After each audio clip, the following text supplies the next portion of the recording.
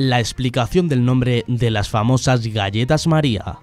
Las comes a diario y sin embargo todavía no sabes la explicación del nombre de las famosas galletas María.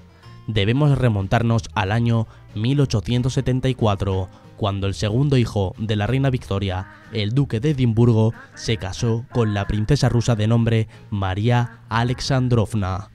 Para celebrar la boda del duque con María, un pastelero londinense preparó una sencilla galleta redonda de harina, aceite, azúcar y extracto de vainilla.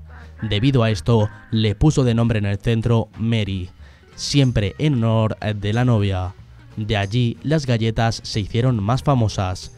En España se hicieron famosas tras la guerra civil, al ser símbolo de recuperación económica, puesto que las panaderías las producían masivamente por la gran cantidad de cosechas de trigo en ese momento y que hacían que fueran más económicas.